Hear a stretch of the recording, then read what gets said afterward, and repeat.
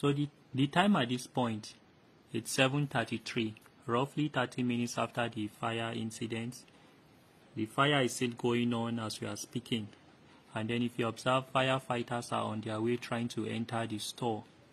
But I would like us to look closely at the screen towards the center. You notice the three ladies that came in together and one of them lit the fire. They are together now, you can see them. And I would like you to observe this one behind, the smile she's having presently. And then she's going to come back again, so you can observe better. So just watch the screen. So just watch the screen so you can see her again and observe her face closely. Just observe her face.